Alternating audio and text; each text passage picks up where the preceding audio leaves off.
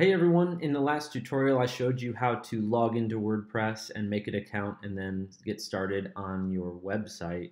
And in this tutorial I want to show you how to customize your homepage.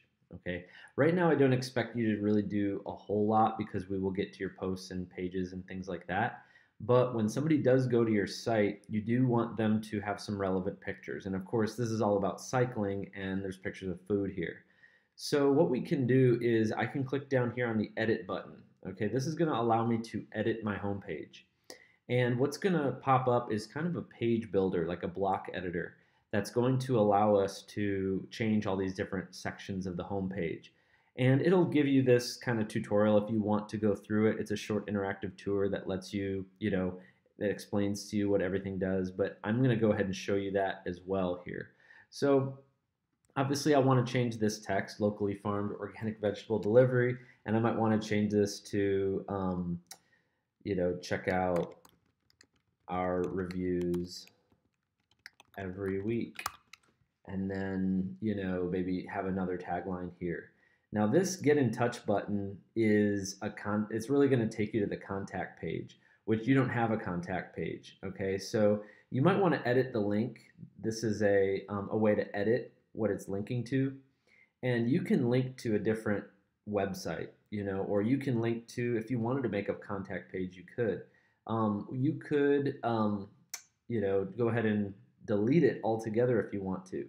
Um, you can unlink it too. Um, if you select it and we want to not make it a link anymore, um, we can just press the unlink button and now it's not a link anymore. So for now, I would recommend you probably you know don't want to link to a page that's not there and so you might want to just unlink it for now. Maybe in the future when you do make a contact page you might want to re-enable that link. But for now I'm going to disable it. I'm going to click over here on this picture. This is just a picture of food which I don't really want. Um, and so I'm going to go ahead and press replace. Uh, now it's kind of cool you can you know go to the Pexels free photos library and that's going to give you a lot of free stock images and um, or you can upload your own. Okay. You also have Google Photos if you have Google Photos connected, and then your media library is all the photos you've up, uploaded in the past, which we haven't uploaded any, so we won't go in there. And I'm just going to go to Pexels to get some free photos, and I'll type in the word, um, you know, bicycle. Oops. Okay, so let's see if this was about cycling trails and stuff. Let me just choose this one. I'll press select.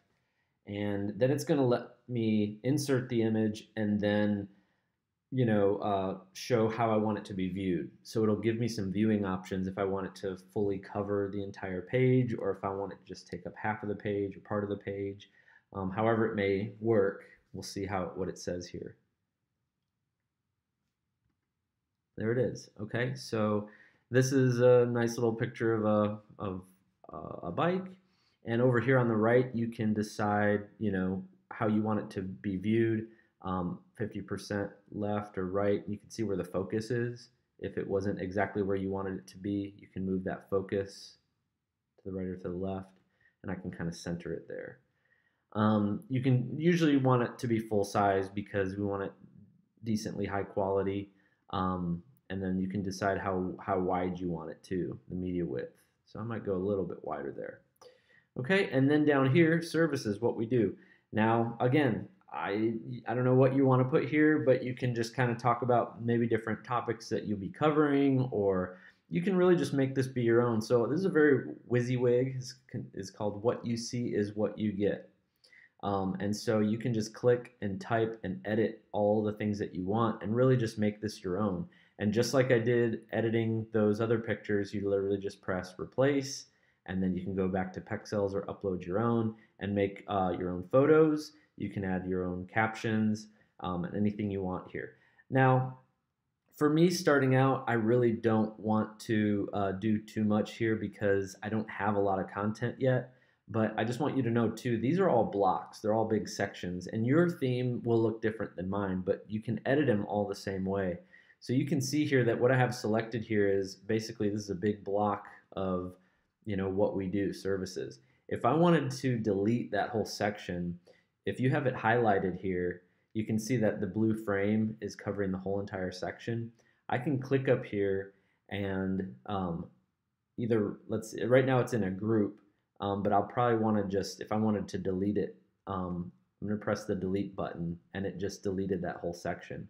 If you want to undo that, you can Command Z or Control Z on a on a PC, and it's Command Z on a Mac, which lets you undo what you just did.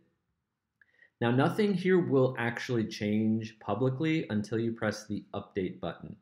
And I'm going to go ahead and press update for now, and it's kind of a way to just save it while I'm working here in case I mess something up. Um, so any of these sections have a new, you know, area if you want to add uh, your own text, and if you want to delete something, you literally just go ahead and click on it and press the delete button, and it's and it's gone. If you want to add your own section, you can also appear this add block. Okay, when I press add block, you're going to see it's going to let you type in a paragraph if you just want to start typing some text.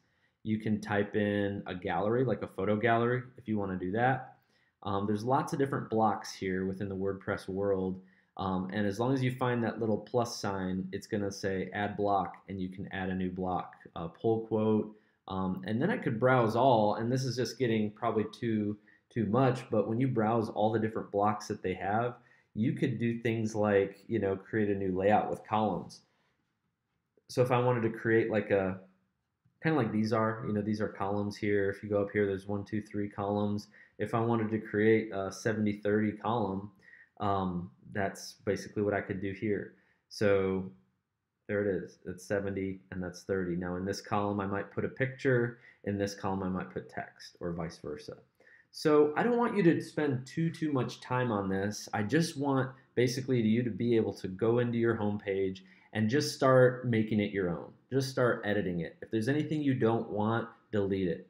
If you want to try to add something new, use those blocks to try to do it. Now, um, each block, once you have it selected, is going to give you some options over here on the right, uh, which will let you choose like things like size or appearance and, and all that kind of stuff.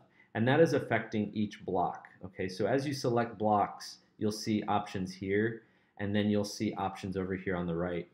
Now, if you want to change some global um, things within this whole page, there's a page tab and then there's a block tab. Obviously the block covers if there is a block that's selected, but the page um, will, pub, you know, it will change, you know, maybe something like the visibility. If you wanted, I don't want you to do this, but if you wanted this one to be a password protected page or private page, um, if you wanted to, um, you know, make a featured image, and what that means is once you have like a bunch of blog posts being pulled in, it might have like a little thumbnail next to it. Um, and so things like that. I don't think there's much that you need to do here, but just be aware that there's some like global page customizations you can make as well. If you had multiple authors, you could change the author here. Um, but yeah, for the most part, you'll probably just be editing block by block and then pressing update. Okay, and then when we're done, um, I will want you to submit your website, just your homepage for now, okay? You'll notice here at the top, it's giving you a site that says wordpress.com slash page. And, and if I was to open this in like, um, I'm gonna go, go ahead and open up an incognito window just so you can see what happens. Um, this is unviewable by anybody who's not logged in as you nobody can see the, the that post because we're in the editor mode. Okay, we're, we're working with blocks and we're on this big editor mode, and that's basically what we see. So when you turn in your link, I don't want to see this long, crazy URL, okay, because I, I can't view your editor mode. What I want is the public version of this of this page. And so what I'm going to do is actually click over here to the page view. And down here, there's this button called permalink this permalink is the public version of what we've been doing. Okay, so when you submit your website, I want to see the permalink link. Okay, and all it is is just your your domain. Okay, so make sure when you submit your site um, this week that you give me your domain that is correct. And you might want to try it out in different in like an incognito window to make sure that the link you give us is the right link. Okay, so that's just how to get started with your WordPress site. Uh, we will get to posting and pages here in further tutorials.